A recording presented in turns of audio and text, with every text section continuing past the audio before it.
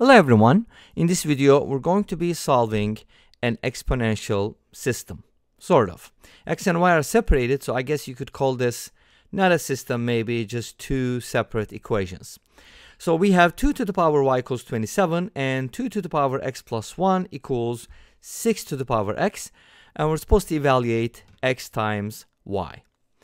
So I could probably come up with a couple different methods. Let's go ahead and start with the first one.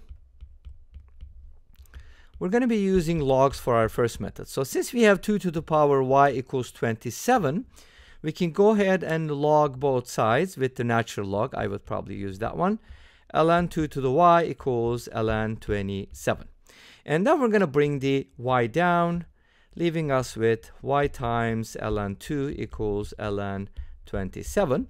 And from here we get y equals ln 27 over ln 2 ln basically represents the natural log of whatever that number is. Okay, so we found the y value. Our goal is to solve for x and y separately because they're not mixed, and then find xy. Second equation gives us 2 to the power x plus 1 equals 6 to the power x. So here we have two options. We can just directly ln both sides or separate the x's and the constants or the exponentials and the constants. Either way, let's go ahead and use the same method as before, just ln both sides. And you're going to get the following. So it's kind of like state, pretty standard, straightforward. And then just bring these down. You're going to get x plus 1 ln 2 equals x ln 6. And of course, our goal is to solve for x.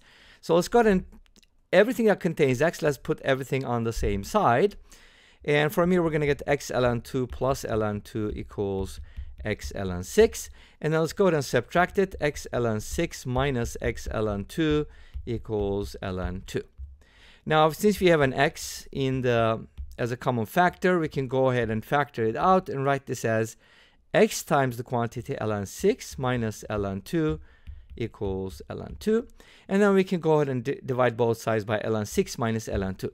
But wait a minute. We have a rule that will help us simplify this expression. And what is that rule?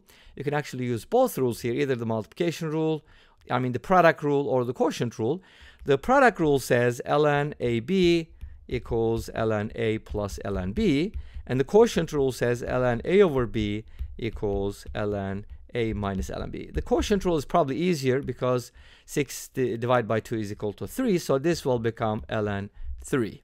So now we get x ln 3 equals ln 2, which means x equals ln 2 divided by ln 3.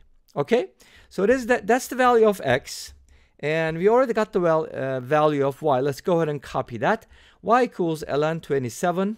Let's go ahead and copy that here ln 27 over ln 2 I believe. Let me double check. Yes. So that's the value of y and this is the value of x. So what do you do with those right?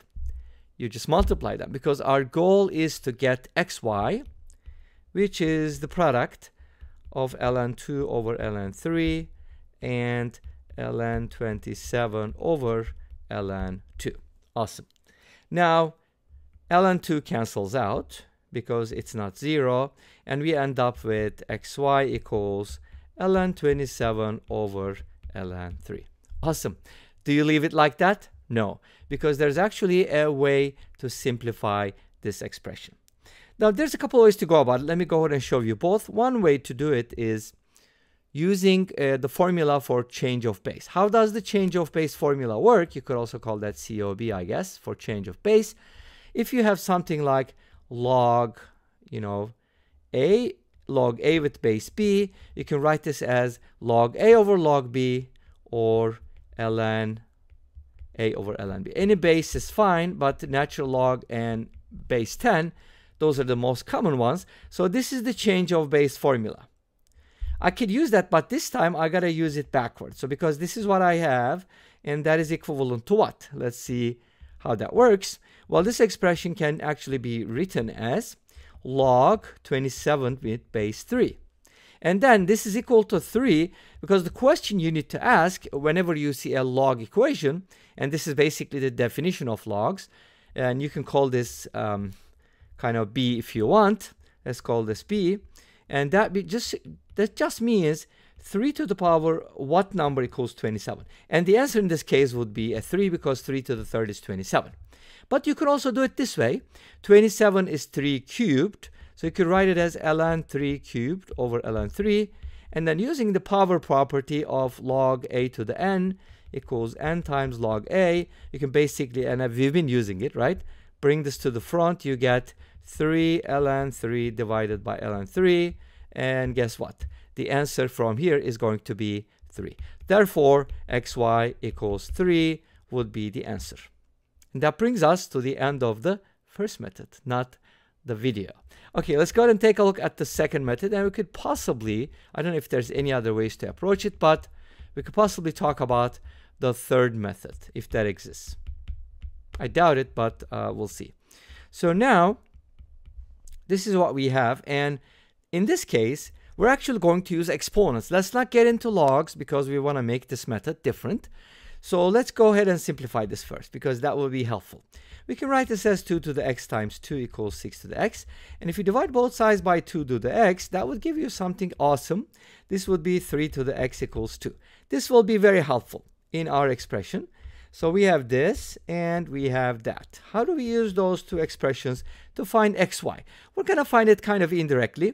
So notice that the second equation, which I consider this one, has 2 on the right hand side and 2 has no exponent and we have a 2 here so what I'm going to do is replace 2 with 3 to the power x here that's going to give me 3 to the power x to the power y equals 27 do you see what I see? Hopefully you do. Now when you have a to the power m to the power n, remember we are supposed to multiply the exponents. This is called power of a power property or some people call it superpower property, whatever you want to call it, doesn't matter.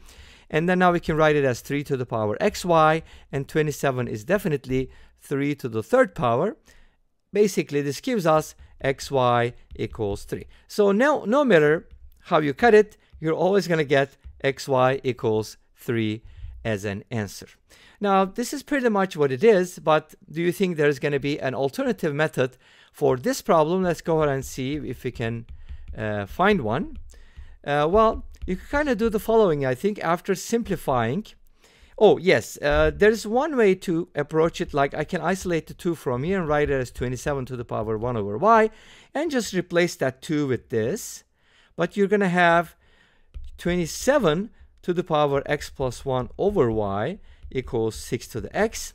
Now, do you think we're going to be able to find xy from here? So something to explore definitely, but let's go ahead and do the following. We can write this as 3 to the third power, and that'll be multiplied by x plus 1. So it's going to be 3 to the power 3x plus 3 over y equals 6 to the power x. And then I kind of need to get rid of the, uh, well, I kind of need to, I think, multiply both sides by y to get xy. Let's see if we can do the following. We can write this as 3 to the power 3x plus 3 equals 6 to the power xy. This gave me xy, but I didn't get a power of 3, so we probably have to do a little bit more work. But anyways, I think these methods are good enough, so I'm going to stop at this point. And this brings us to the end of this video. Thank you for watching. I hope you enjoyed it. Please let me know. Don't forget to comment, like, and subscribe. I'll see you next time with another video. Until then, be safe, take care, and bye-bye.